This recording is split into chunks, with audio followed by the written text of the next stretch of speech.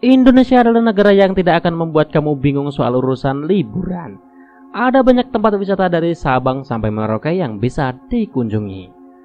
Namun sayangnya tidak semua tempat wisata tersebut mampu bertahan. Beberapa sempat menemukan kejayaannya sebelum berakhir tak lagi dikunjungi. Uniknya tempat wisata yang terbengkalai tersebut justru kembali menjadi populer. Bukan karena dibuka kembali akan tetapi tempat wisata tersebut dikunjungi karena keangkerannya atau bangunan yang sudah tua. Penasaran tempat wisata apa saja yang dulu ramai namun kini terlupakan? Simak videonya sampai habis. Siapa tahu tempatnya ada di kota kamu.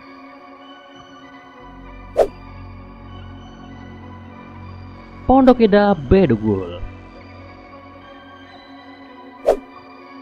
Jika kamu ingin mencari penginapan saat sedang ke Bali, jangan sampai menginap di Pondok Indah Bedugul.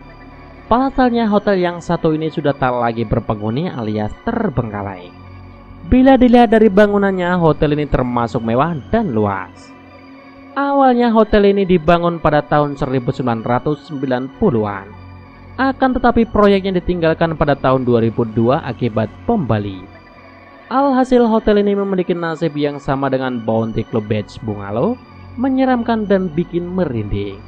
Apalagi lokasinya yang berada di area pegunungan membuat tempat wisata ini semakin horor. Beberapa rumor sempat beredar tentang hotel ini mulai dari rumor bahwa hotel ini milik Tommy Soeharto.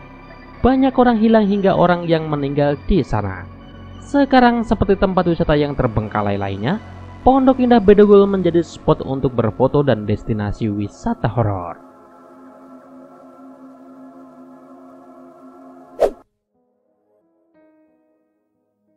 Bounty Club Beach Bungalow.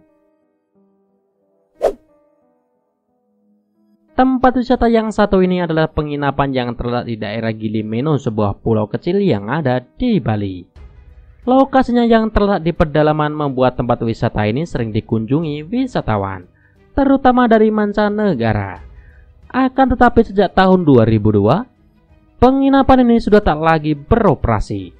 Dikabarkan ada dua rumor hangat yang menjadi penyebab tempat ini tak lagi dikunjungi. Menurut rumor pertama, hotel ini tak lagi beroperasi akibat bom Bali yang juga terjadi di tahun 2002. Hal ini menjadi momok bagi para wisatawan asing dan menyebabkan ratusan penginapan tak lagi dilirik, termasuk tempat ini. Oleh sebab itu, hotel tersebut mengalami kebangkrutan. Menurut rumor yang kedua, Pemilik tempat wisata ini meninggal dengan cara yang misterius dan mengenaskan. Akibatnya manajemen hotel tak bisa berjalan dengan baik sehingga hotel pun terpaksa harus ditutup. Sekarang Bounty Beach Club Bungalow tak terurus dan sepi pengunjung. Hanya ada beberapa wisatawan yang berkunjung dengan tujuan berwisata horor. Taman Remaja Surabaya Jika kamu tumbuh dan besar di Surabaya, pasti nama tempat wisata yang satu ini tidak asing lagi buat kamu. Di tahun 1990 hingga 2000-an, Taman Remaja Surabaya merupakan tempat bermain yang sangat terkenal. Wahana modern dan lokasinya yang strategis membuat tempat wisata ini begitu digemari.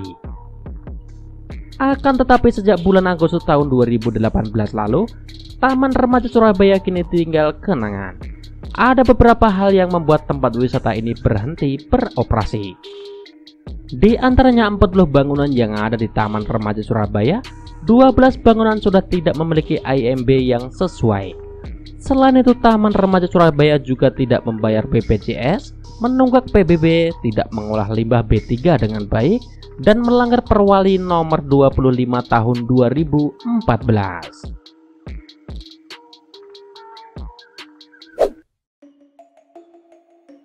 Taman Festival Bali.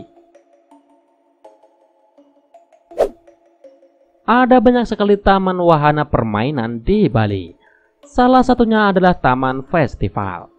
Tempat wisata yang dibangun pada tahun 1997 ini memiliki banyak fasilitas seperti gedung pertunjukan, teater tiga dimensi, kebun binatang, dan masih banyak lagi. Akan tetapi tempat ini mengalami kebangkrutan saat krisis moneter di tahun 1999.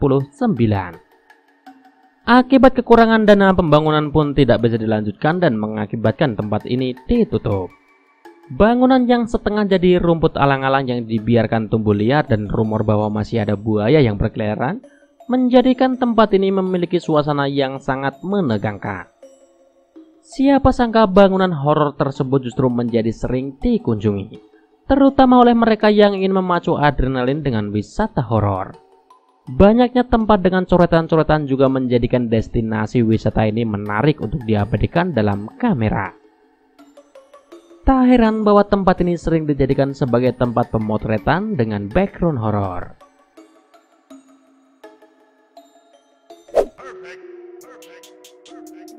Kampung Gajah, Bandung.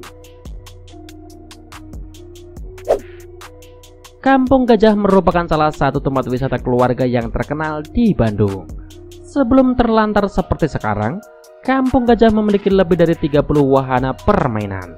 Sekarang kamu hanya akan melihat bangunan tua yang tidak terurus, wahana berkara dan patung-patung yang dipenuhi lumut. Tempat wisata ini terbengkalai akibat dinyatakan bangkrut oleh Pengadilan Negeri Jakarta Pusat pada akhir tahun 2017.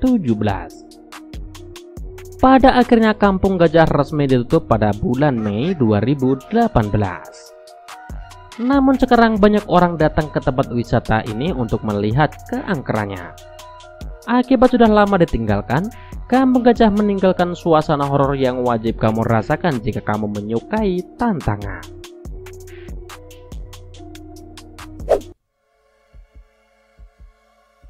Tempat wisata Villa Hantu Lombok.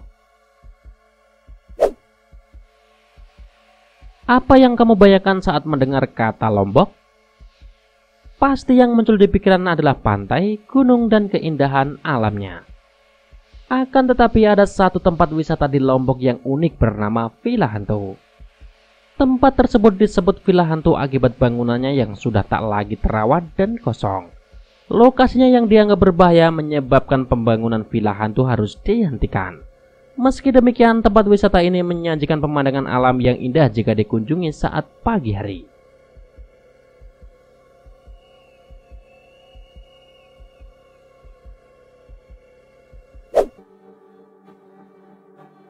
Kolam renang Singandaru